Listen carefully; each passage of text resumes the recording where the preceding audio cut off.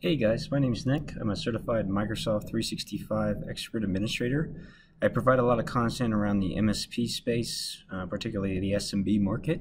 And in today's video, I'm going to be showing you guys how to enable MFA into Azure Active Directory here for Duo.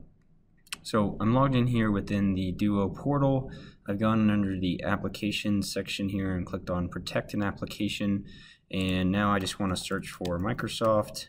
The one that you're going to want to look for here um, depends on your environment, obviously, but what we want to do is go to the Microsoft Azure Active Directory, click on Protect this application. So now we're going to have to give Duo uh, authorization to go in and do that. So I'm already signed in here under my Global Administrator account. You can click on that. You can click on Accept.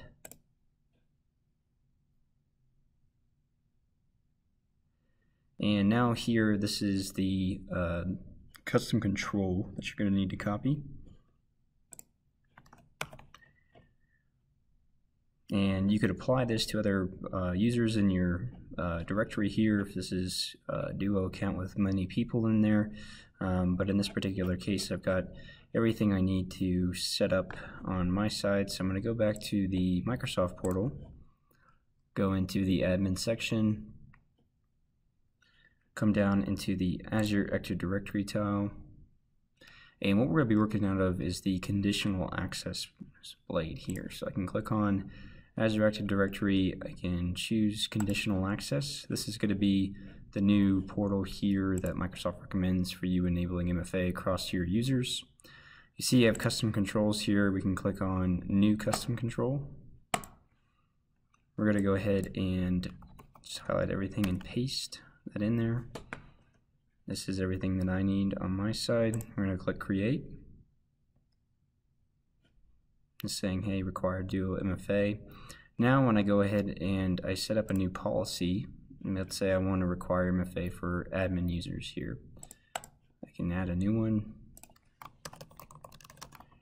I'm going to say require duo. Here you can define the groups of users uh, that you want to apply this to, if it's certain groups or if it's certain users. I'm going to say, let's say just Bruce in this particular case because I want to test this out before I roll it out to a wide variety of people.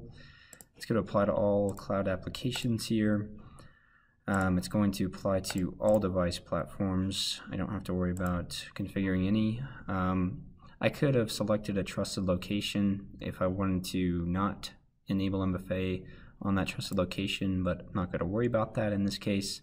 Client apps, I'm not going to get into, or in device state, I'm not going to get into as part of the scope of this video. If you want to learn more about this, I have a whole video on conditional access that you can use to dive into granular features and abilities of these policies themselves.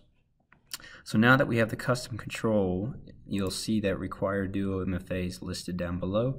You can simply check mark that box, come in, and again, sessions a little bit outside the scope.